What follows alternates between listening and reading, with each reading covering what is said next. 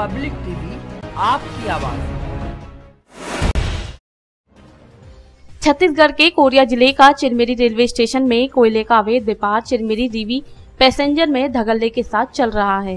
बताया जाता है कि चिरमिरी से रीवा जाने वाली दोपहर वाली ट्रेन में रोज़ाना मनेन्द्रगढ़ से कुछ महिलाओं का गैंग इस कार्य में लगा हुआ है, जो यात्री ट्रेन में यात्री डिब्बे की सीट के नीचे कोयले भरी बोरियों को शौचालय के पास भारी मात्रा में कोयले की बोरियाँ रख कर मनेन्द्रगढ़ ले जाकर बेच रहे हैं।